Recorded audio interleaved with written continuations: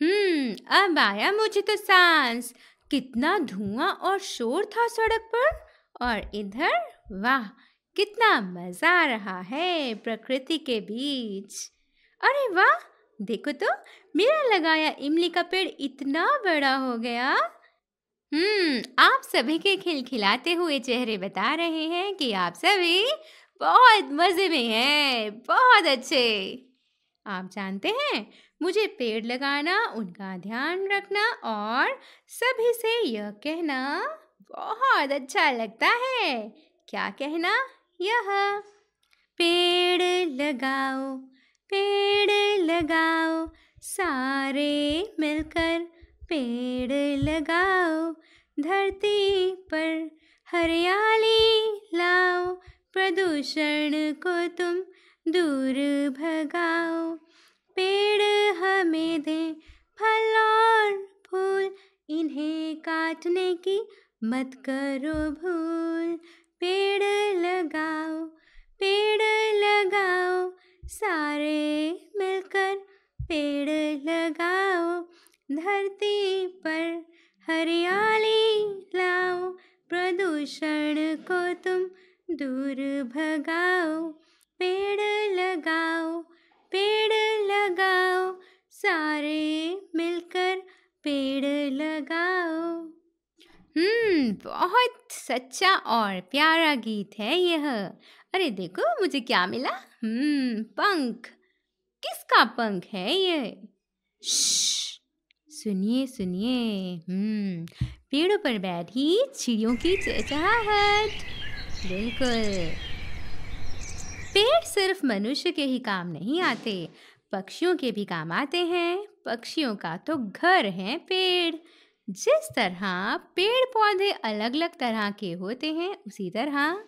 जी हाँ पक्षी भी तरह तरह के होते हैं। चलिए जानते हैं आपकी पर्यावरण अध्ययन की किताब के पाठ, पंख फैलाए उड़ते जाए से। जरा सभी इधर देखिए। पेड़ पर तो तोते बैठे हैं, चटक हरे रंग के और लाल चोंच वाले।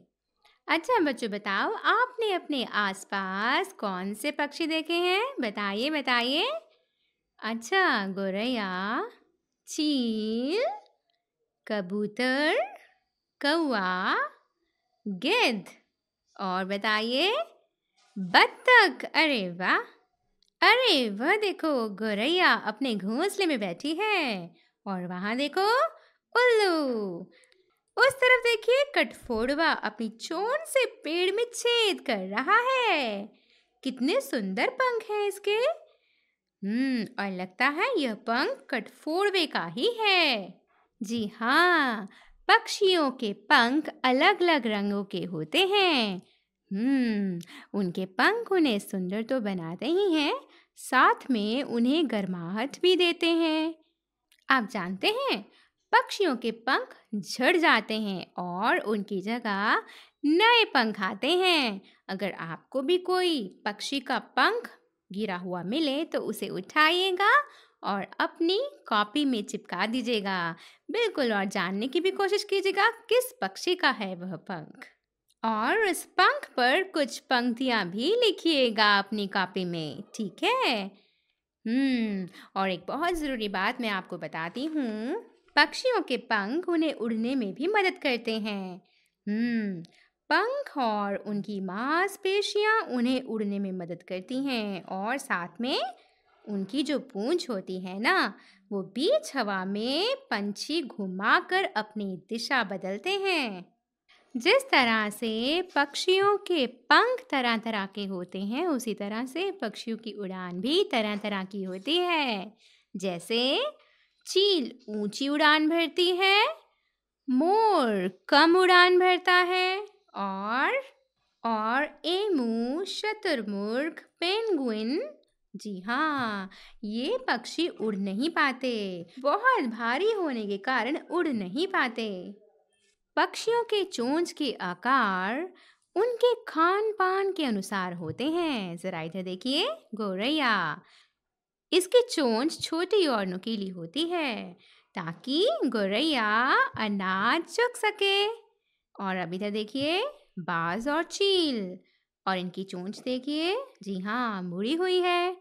यह दोनों मांसाहारी पक्षी हैं और इनकी चोंच नुकीली होने के कारण इन्हें शिकार को खाने में मदद मिलती है।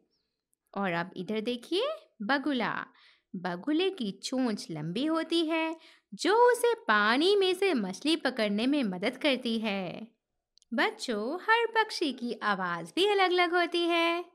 देखिए तो टिटहरी टीटी करती है। और कौआ क्या करता है बताइए? जी हाँ कौ कौ करता है। और कबूतर? गुटरगू शाबाश। और ऐसा पक्षी बताओ जो इंसानों की तरह बोल लेता है। बताओ तो। बिल्कुल सही, तोता। तभी तो कुछ लोग तोते को घर पर पिंजड़े में बंद करके रखते हैं। क्या घर पर पिंजड़े में तोते को बंद करके रखना सही है? सोचिएगा ज़रूर।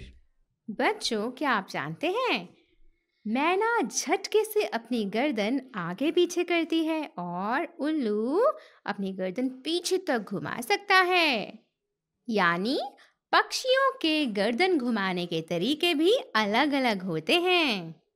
अब है बारी पूछो तो जाने, यानी पहेलियाँ पूछने की। तो बताओ तो सिर पर मेरे डैश है, सुंदर पंखों पर नाज है सुंदर नाच दिखाता हूँ, राष्ट्रीय पक्षी कहलाता हूँ। बताइए बताइए, बिल्कुल ठीक, सिर पर मेरे ताज है।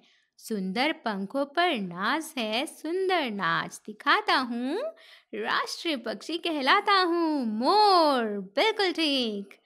आगे बढ़ते हैं, आकाश से सीधे आती हूँ, झपट चुहा ले जाती हूँ पूछ है मेरी खांचे वाली।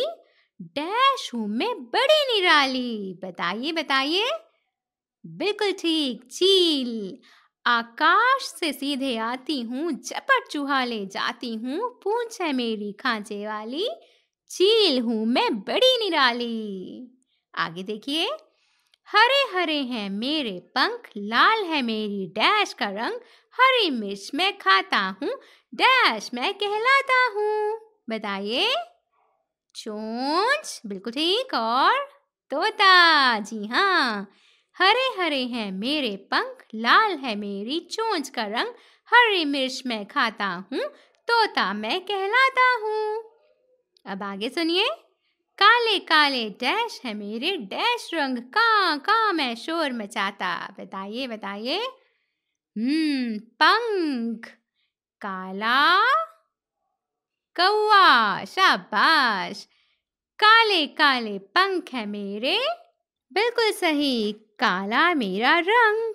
गाँव गाँव में शोर मचाता कौआ मैं कहलाता हूँ। शाबाश। आगे देखिए। कुहू कुहू आवाज़ लगाती मधुर मधुर में गीत सुनाती, सबके मन को हूँ मैं भाती, देखो डैश मैं कहलाती। बिल्कुल कोयल, शाबाश। कुहू कुहू आवाज़ लगाती, मधुर मधुर में गीत सुनाती, सबके मन को हूँ मैं भाती, देखो कोयल मैं कहलाती। आगे, मरे जानवर खाकर मैं जगह साफ़ कर देता हूँ, ऊँचे डैश में उड़ता हूँ हम्म गिद्ध मैं कहलाता हूँ। क्या आएगा? बिल्कुल, आसमान। मरे जानवर खाकर मैं जगह साफ़ कर देता हूँ।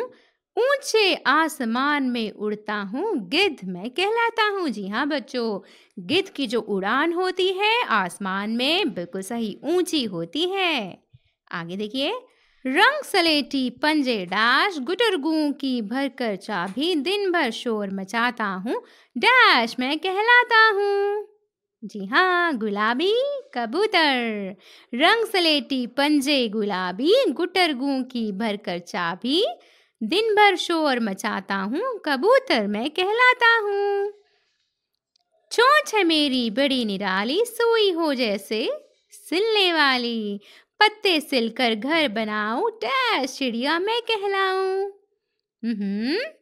दर्जन, शाबाश। चोंच मेरी, बड़ी निराली, सुई हो जैसे सिलने वाली। पत्ते सिलकर घर बनाऊँ, दर्जन चिड़िया मैं कहलाऊं। पेड़ के डाश में छेद बनाऊँ, उसमें छिपे कीड़े खाऊं। टुक टुक करता जाता हूँ कट फोड़वा कहलाता हूँ। बताइए बताइए। हम्म पेड़ के तने में छेद बनाऊँ, उसमें छिपे कीड़े खाऊं टुक टुक करता जाता हूँ कट फोड़वा कहलाता हूँ। अब देखो पक्षियों की चोंच और बताओ, किन पक्षियों की है ये चोंच? बताइए। जी हाँ तोता, शाबाश। और आगे देखिए। बिल्कुल ठीक, मोर। और ये देखिए। जी हाँ कौवा, शाबाश। और अब यहाँ देखिए। बिल्कुल ठीक चील और इस तरफ़? जी हाँ बगुला। अरे वाह, बहुत अच्छे। तो अगर आपके आसपास कोई पक्षी दिखाई दे तो हम्म उसकी चोंच ध्यान से देखिएगा और अपनी कॉपी में उसका चित्र भी बनाइएगा। हम्म आप सभी पक्षियों की चोंच देखकर पहचान सकते हैं कि कौन सा पक्षी है यह। बच्चों, अब पहचानिए पक्षियों के भोजन। तोता, बताइए क्या खाता है? बिल्कुल ठीक, अमरूद, मिर्च। कटफोड़वा हम्म बिल्कुल सही, कीड़े। कबूतर। जी हाँ बीज। चील? हम्म मरे जानवर। अच्छा तो अब आप सोचिए, गिद्ध क्या खाती होगी? सोचिएगा। तो बच्चों, मज़ा आया आपको पक्षियों के बारे में जानकर? और अब बारी है आपको गृह कार्य देने की तो आपका कार्य है पक्षियों के लिए अपने घर की छत पर या फिर किसी भी ऊँची जगह पर अपने बड़ों की सहायता से उनके लिए पानी रखना और पक्षियों के घर बनाने के लिए पेड़ों को बचाना और लगाना, ताकि प्यारे पक्षी खुशी खुशी हमेशा पंख फैलाए, उड़ते जाएँ। हमेशा स्वस्थ रहिए, खुश रहिए नमस्कार